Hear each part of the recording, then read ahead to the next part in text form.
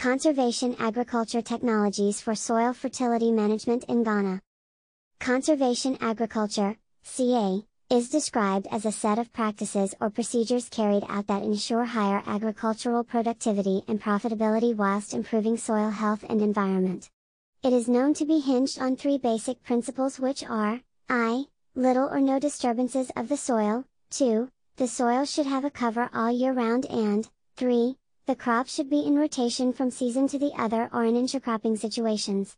Conservation agriculture was introduced into Ghana in the early 1970s, mostly through donor-funded agricultural projects. Even though results in terms of crop yields from the various on-farm experiments have been found to be higher than the yields from the traditional slash and burn method of farming, it has not been easy to convince farmers to adopt the practice holistically. Generally the adoption of CA by farmers in Ghana is therefore low and those who are said to have adopted CA may either be practicing one or two of the principles of CA such as no-till, no-till with intercropping but not all the three principles of the practice. Comparatively, climatic and weather conditions in the southern part of the country favor the adoption of some of these principles. For example, the rainfall system in the south is bimodal with only a dry period of less than three months. This allows the growth and development of vegetation all year round and therefore not prone to bushfires. The decay of these vegetative matter when killed by weedicide, will go a long way to enrich the soil with its nutrients. On the other hand, the northern part of Ghana has only one rainy season which commences in late May and ends in early November with a dry period of about 5 months which is characterized by the Harmattan winds. During the dry season, the vegetative matter is dried up and therefore prone to bushfires. The occurrence of bushfires either accidentally or intentionally, clears up all the dry vegetative cover exposing the soil to the harmattan winds in the dry season and the running water during the rainy season which robs the soil of its nutrients. It is therefore not surprising to know that farmers in the northern part of the country consider any technology that conserves soil and water such as soil bunding as a CA technology. Table 4 shows the results of a survey that was carried out to identify technologies related to CA practiced by farmers in the northern part of Ghana. Comparatively, among the districts covered, East Mamprusi recorded a higher percentage of farmers practicing some of these technologies than Lawra or Bawku which according to Ekekpi and Kombiok, 2008, could be indicative of better extension services in that district. Percentage of farmer respondents on CA technologies in the Savannah Zone. Number of respondents equals 32. Source, Ekekpi and Kombiok, 2008. Direct seeding of crops is carried out without tilling the land in most parts of Ghana. In the southern part of the country, forest zone, where vegetation exists all year round, the vegetation is slashed using a cutlass and the residue instead of burning, is left as mulch on the farm. However, in the north, the crops, maize, sorghum and millet, are planted directly on the bare soil since all vegetative matter would have been burnt during the dry season. In both cases, the crops are planted using a dibbling stick or cutlass to create holes either on the bare soil, north, or inside the mulch as in the case of the south. This is advantageous in the south since the farmer will benefit from the mulch as it will conserve soil water and eventually decay with time to add nutrients to the soil within the season. Under such a situation, the physical and biological properties of the soil are also expected to improve after the mulch decomposes. In the north however, Weeding should be carried out within 3 weeks after planting after which fertilizer or manure would be applied to the farm since the soil is devoid of vegetative cover at planting. This is to be sure that the crops are supplied with enough nutrients and to avoid heavy weed infestation on the farm which can reduce crop yields. Minimum tillage is the reduction in the number of times the soil is being tilled as in conventional tillage method, plowing slash harrow slash ridge, before and after the crop is planted.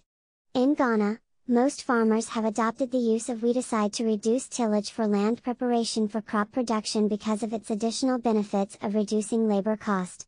Other benefits of minimum tillage include the reduction in energy cost and it enhances the organic matter content of the soil while conserving the soil. The vegetation is either slashed or sprayed with weedicides followed by either burning the dead vegetation as done in the forest and transitional zones of Ghana before crops are planted. This implies the land is not tilled before planting.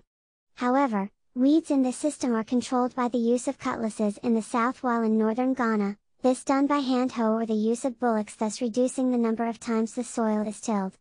The use of hoe is practiced in the north in weed control helps to bury the young weeds that have just emerged after planting which easily decay and return nutrients into the soil for crop use.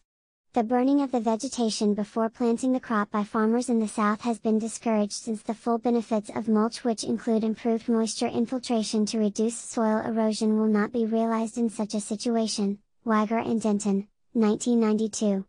It is common to see farmers in northern Ghana planting annual crops such as maize, millet and sorghum on the old ridges constructed in the previous year. In the southern part of Ghana, it is the use of glyphosate a total weed killer, at the recommended rate of 3 liters slash ha which can be increased if noxious weeds such as spear grass, Imperata cylindrica is present.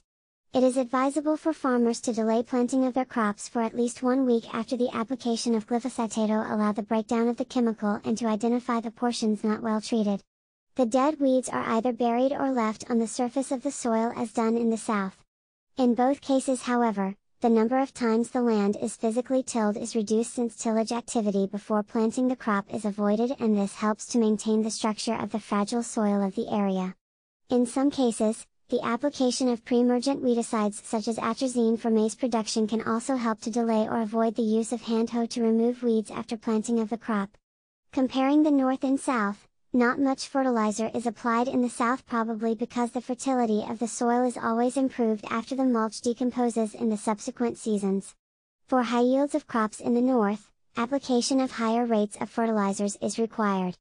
Alley cropping is not widely practiced in Ghana but this is found in few places in the southern part of Ghana. It is similar to agroforestry systems where fast-growing shrubs or trees such as pigeon pea is planted in alleys while cover crops such as mucuna or calopogonium are planted to protect the soil from erosion and for weed control. After harvesting the pigeon pea in the alleys, the biomass is harvested and used as mulch on the cover crops where maize is planted directly in the mulch. In this system, Nitrogen is fixed in the soil from atmosphere by both the pigeon pea and the cover crops. Also, the decay of the biomass from the pigeon pea goes to enhance the in status of the soil which goes to improve the yield of the maize. Soil water is conserved and weeds are controlled effectively under this system. The planting of alternating strips of several crops aligned on the contour in the field is known as strip cropping. It is an effective conservation measure on slope between 5 and 10%. In this case, Erosion is largely limited to the row crop strip and soil removed from these is trapped in the next strip down slope which is generally planted to close growing crops. Strip cropping involving pigeon pea has many additional advantages especially in a mixed farming situation. In northern Ghana, almost every farm family raises livestock, goats, sheep and cattle, as well as poultry in addition to crop production. Sorry, 1995.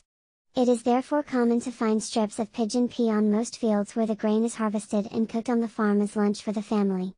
Studies have shown that the biomass of pigeon pea can be pruned over three times within a year and shade dried to feed livestock during the dry season.